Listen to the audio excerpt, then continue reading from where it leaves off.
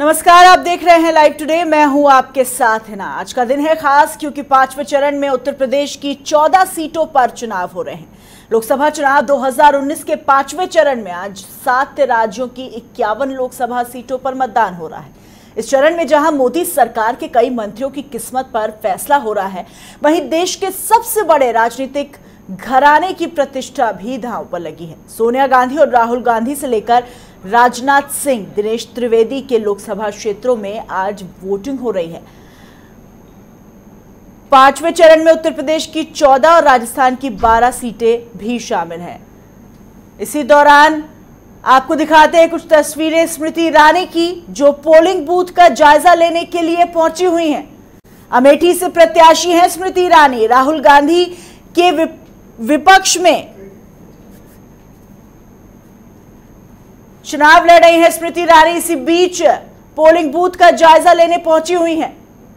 BJP प्रत्याशी स्मृति ईरानी अमेठी से अपनी किस्मत आजमा रहे हैं। पिछले लोकसभा चुनाव में भी अमेठी से लड़ी थी।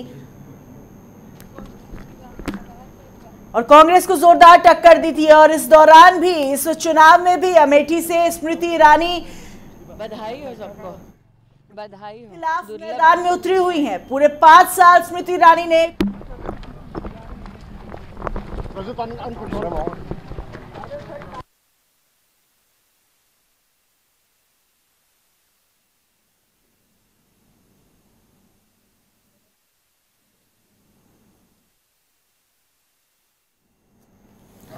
छह तस्वीरें आपको दिखा रहे हैं पश्चिम बंगाल, राजस्थान, उत्तर प्रदेश, जम्मू कश्मीर, झारखंड और बिहार की।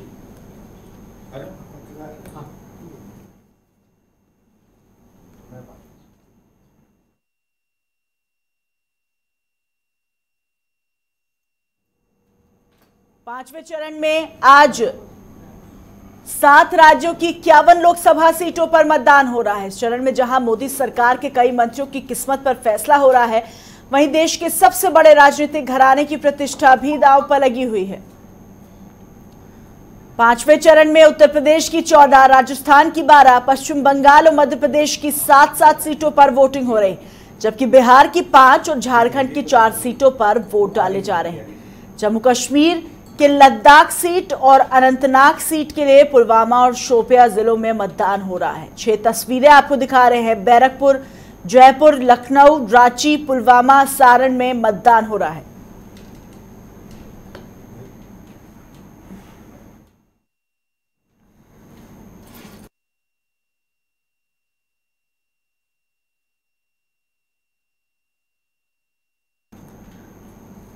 राजधानी लखनऊ में मतदान की गहमागहमी के बीच कुछ चौंकाने वाली खबरें सामने आई। ये तस्वीरें लखनऊ के राजकीय इंटर कॉलेज की हैं, जहाँ मतदान के दिन कर्मचारियों की जगह छोटे छोटे छात्रों की ड्यूटी लगाई गई है। गेट पर बच्चों से पहरेदारी कराई जा रही है। उनसे लंच के पैकेट उठवाए जा रहे हैं। ये वो बच्चे हैं जो अभी मतदान करने की उम्र तक भी नहीं पहुँचे हैं।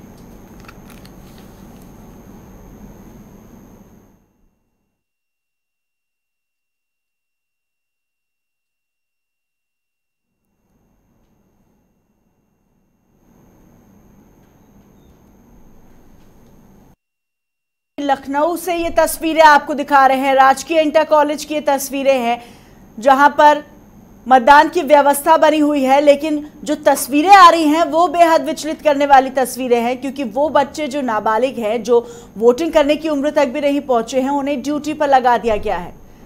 दिनेश त्रिपाठी हमारे सहयोगी फ़ोन लाइन पर जुड़ चुके हैं। दिनेश, जो तस्वीरें लखनऊ से सामने आ रही हैं, बेहद विचलित करने वाली तस्वीरें हैं। बच्चे छोटे छोटे ड्यूटी पर लगे हुए हैं।